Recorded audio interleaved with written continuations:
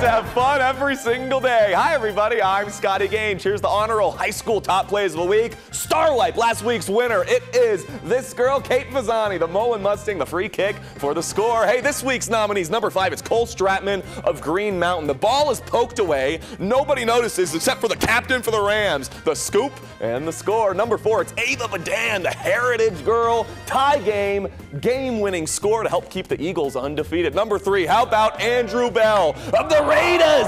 Regis Jesuits kid launches a home run, and he's fired up about it.